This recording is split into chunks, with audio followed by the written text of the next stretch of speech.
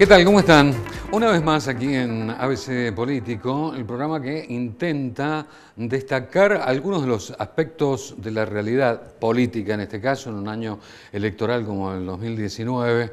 En nuestro eh, espacio, en este momento, se está viviendo en la provincia de Mendoza con expectativa lo que puede acontecer en el ámbito de la Suprema Corte de Justicia de la provincia, donde debe expedirse la sala correspondiente ante el pedido por parte de los intendentes del Partido Justicialista para que habilite eh, una nueva reelección en estos departamentos. El tema es que hay una discusión técnica, hay una discusión política sobre este aspecto donde está interesado el gobierno, por un lado, ustedes recuerden el decreto que firmó el gobernador Alfredo Cornejo para precisamente impedir la continuidad de este eh, tema de la reelección de los intendentes. Esto se está discutiendo por estas horas,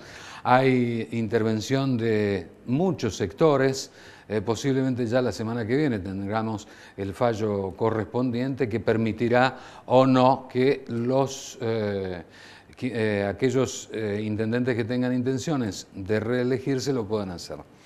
En principio, nosotros tuvimos la posibilidad de dialogar aquí en el canal con Pamela Verasay, que es eh, senadora nacional del sector de Cambiemos, de la Unión Cívica Radical, para conocer cuál era su opinión sobre el decreto del gobernador y además la petición a la Corte por parte de los intendentes del Partido Justicialista. Bien, nos encontramos con Pamela Verasay, senadora nacional, que ha venido fundamentalmente para hablar de distintos temas del ámbito político, fundamentalmente relacionados a la provincia de Mendoza y además también, por supuesto, a nivel nacional. En primer lugar, muchas gracias por haber venido. A ustedes, muchas gracias por, por la invitación. Siempre es un gusto venir a San Martín y poder compartir con los vecinos la agenda del Senado, la agenda del gobierno provincial e inclusive, por supuesto, la agenda del municipio. Bien. Bueno, en primer lugar, hablar de un tema que está muy vigente, decimos, eh, candente en la provincia y tiene que ver con las eh, elecciones que ya falta muy poquito, y además también con esta medida eh, que intenta establecer ¿no? el límite de la reelección eh, de los intendentes en los departamentos de la provincia de Mendoza, ¿no? y esta medida judicial que, iniciaron ¿no? los partidos eh, fundamentalmente opositores al, gobierno. ¿Qué, ¿Qué opinas acerca de, de este tema? ¿no? Lo cierto es que es una pena que estemos perdiendo tiempo en pasillos judiciales y no abocándonos a la gestión, porque la verdad es que queda un año entero para seguir trabajando por los vecinos de San Martín y por los mendocinos en general. En segundo lugar, como, como, como corolario de lo que está pasando, te puedo decir que luego de haber expresado o haber escuchado la opinión de los mendocinos en su momento, no te olvides que la reforma del 198 no es de ahora y no es capricho del gobernador esto viene desde, hace unos cuantos años, en donde el mendocino se expresó en la urna diciendo hay que ponerle límite a la elección de los intendentes. E inclusive te lo comentaba antes, con el paso del tiempo, la ciudadanía cada vez está pidiendo más la limitación de los cargos electivos, concejales, legisladores, intendentes, abrir el debate entero. Entonces, que hoy la oposición haya judicializado algo que votó el mendocino realmente llama la atención y sería bueno que lo explicaran con claridad, porque los mismos intendentes que hoy judicializaron esta medida fueron los mismos que hace un tiempo atrás dijeron, quizá de manera demagógica o, de alguna manera que no queda clara, respaldaban una institucionalidad, pero será porque gobernaban, será porque tenían, eh, digo, eran oficialismo. Entonces cuando pasa el tiempo y cambia la gobernación y finalmente se promulga esa decisión popular, cae la judicialización, con argumentos totalmente opuestos a los que en su momento dieron cuando avalaban este respeto a la institucionalidad, diciendo, bueno, está claro, determinemos que no pueden de por vida vitalicia, de manera vitalicia están en los cargos, en este caso que estamos discutiendo intendentes.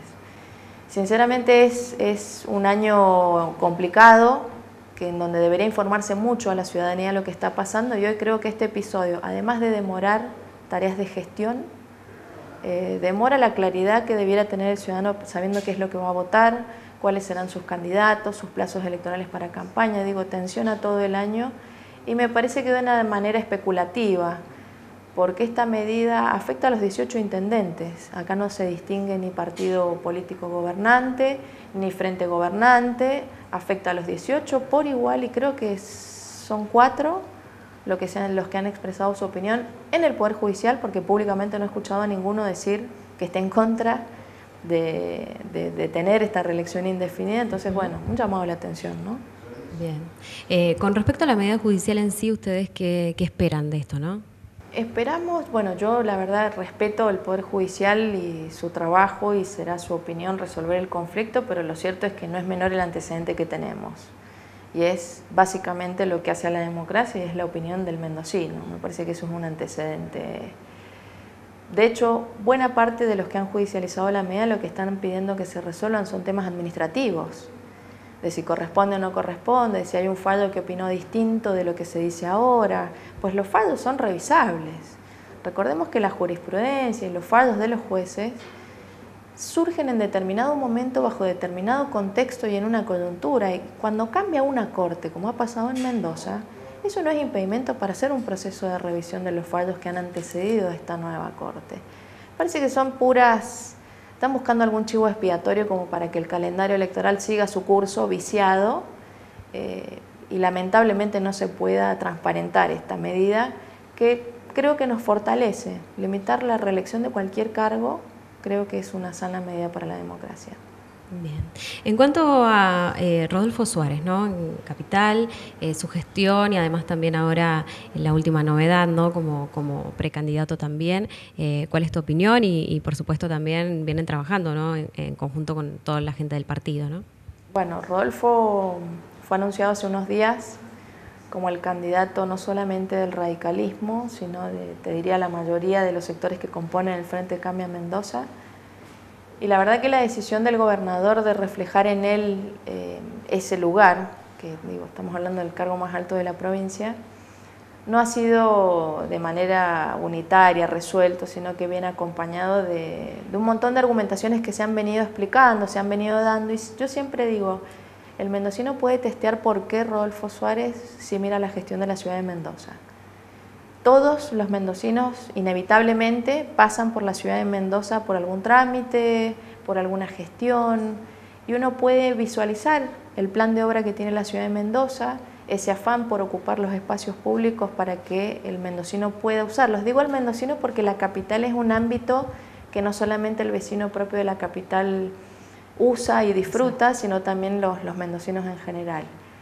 Eso en cuanto a su gestión, no, tengo duda de que ha tenido una gestión brillante, se ha hecho cargo de, de hecho ahora el parque cívico, que era un área del gobierno de Mendoza, ha pasado a ser gestión municipal, parece que son desafíos interesantes y solo se pueden hacer si uno tiene su municipio ordenado. Eso en cuanto a la parte de gestión como antecedente para su futuro, futuro cargo si los mendocinos nos acompañan en esta decisión de continuar la gobernación de Cornejo. Y en segundo lugar, su aspecto político. Digo, Rodolfo Suárez, presidente de la Unión Cívica Radical de Mendoza, y en su discurso, en sus relaciones con los otros actores políticos del frente, han consensuado la capacidad de él de poder coordinar este frente para los próximos cuatro años. No se olviden que nosotros tenemos legisladores y funcionarios que son de otros partidos que indefectiblemente la coalición funcionó, no solamente en el ámbito legislativo, producto de eso han sido las leyes que han podido disfrutar los mendocinos para mejorar servicios. El proceso judicial fue un debate muy duro, en donde contamos el aporte de los partidos del frente, y también ha sido una coalición de gobierno, porque hay muchos funcionarios de otros partidos que cumplen funciones muy importantes dentro de la gestión y se han sentido parte de este equipo que el gobernador hoy está pidiéndole a los mendocinos que revalidemos como equipo, como gestión y como continuidad de esta, de esta revolución de lo sencillo que, planteamos hace tres años atrás cuando, cuando el gobernador asumía el gobierno de Mendoza. Bien. Como acompañante de Rodolfo Suárez eh, en esta precandidatura. Esto lo he conversado mucho. Eh, la verdad que el, el equipo que tiene Cambia Mendoza es amplísimo, y hay muchas personas calificadas para acompañar en, esta, en este tremendo desafío que es una vicegobernación. Lo cierto es que yo, más que discutir fórmulas, sobre todo este año en donde en lo personal creo que no es cualquier año, después de haber venido de dos gestiones justicialistas, en donde la última ni siquiera podía pagar sueldos, los mendocinos tenemos que mirar qué Mendoza queremos. Si volvemos para atrás a esa, a un estado quebrado, sin posibilidad de resolver los problemas de los mendocinos, o continuamos con esto y miramos lo nuevo que se viene, las nuevas reformas y las reformas que se han dado estructurales que han permitido el desarrollo de la, de la Mendoza que estamos mirando, una Mendoza que ha empezado a salir al mundo, que ha mejorado su conectividad, que ha mejorado su relación con el gobierno nacional. En ese sentido yo me, yo me considero parte de un equipo que siempre voy a estar a disposición para el lugar en donde la Mendoza me reclame o el propio proyecto nos reclame. Bien, nombres todavía entonces no. No es el momento, de hecho el mismo gobernador lo ha dicho. Eh, definir hoy el nombre que acompañaría la fórmula de Rodolfo no es la prioridad porque seguimos gestionando y todavía hay tiempo, de hecho el plazo electoral para la presentación de listas vence en abril. Eh, seguramente va a surgir del consenso y va a ser lo mejor que pueda dar el frente para continuar a la gobernación. Bien.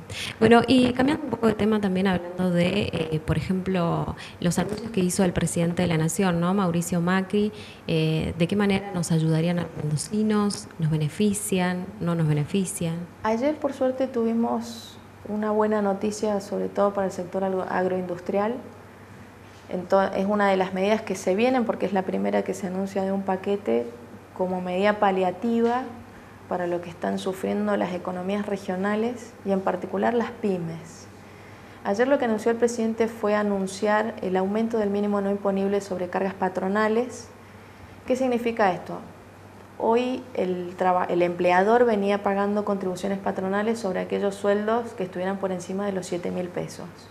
A partir de esta nueva medida que comienza su vigencia el primero de marzo, ese mínimo no imponible se eleva a 15.000. Entonces, ¿qué significa esto? Que por encima de ese sueldo recién estarían pagando por el diferencial contribuciones patronales. ¿Y por qué la medida es importante? seguro que no es suficiente, porque también hubo otros reclamos como repensar retenciones, repensar los reinteros a las importaciones. Eh, tiene, tiene impacto porque esa franja salarial es la que mayor se presta, mayor franja que se presta para la informalidad o el trabajo en negro que conocemos. Y todos también sabemos lo que significa blanquear la economía y lo que derrama tener un trabajador en blanco con todos sus beneficios sociales. Entonces, de alguna manera se vio con, con agrado, no con, con plena satisfacción, porque obviamente es la primera, pero se la vio como de alguna manera un oxígeno a, esta lucha contra el desempleo y este sostenimiento de la pyme, que es el primer motorcito que tiene la economía regional en una, en una localidad. Bien, en cuanto al sector vitivinícola aquí en la provincia, eh, la verdad que hemos podido hablar con muchos productores y la están pasando bastante mal. Eh, ¿Ustedes vienen trabajando desde, en algún proyecto, algo para beneficiarlos o ayudarlos en esta situación? El, tengo entendido, y bueno, de hecho lo hemos conversado con el propio ministro Kirchner, que ha estado recorriendo las zonas vitivinícolas y su, jefe de gabinete, Alfredo Aciar, escuchando las demandas de los productores, que por supuesto la devaluación o la actualización del tipo de cambio no ha sido suficiente para eh, poner de nuevo su margen de rentabilidad o tornarlos puramente competitivos. Está claro que esto no ha alcanzado pero sí se ha trabajado en las herramientas que son eh, exclusivamente provinciales, ¿no? y esto tiene que ver con la discusión de la baja sistemática de impuestos año tras año, en particular los ingresos brutos, que son los que afectan al sector primario.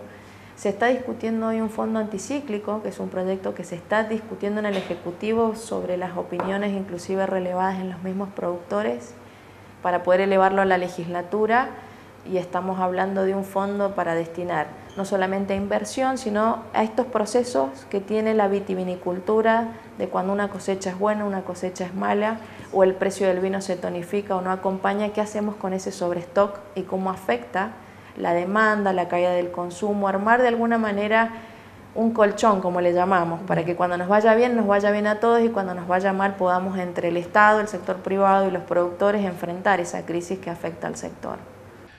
Vamos a hacer una pausa y luego vamos a tener la opinión de quien está muy cerca de lo que se vive en cuanto a la determinación que va a tener que eh, asumir la Suprema Corte de Justicia de la provincia. Vamos a hablar de los aspectos técnicos y además de algunos políticos con el secretario de Gobierno de la Comuna de General San Martín después de la pausa.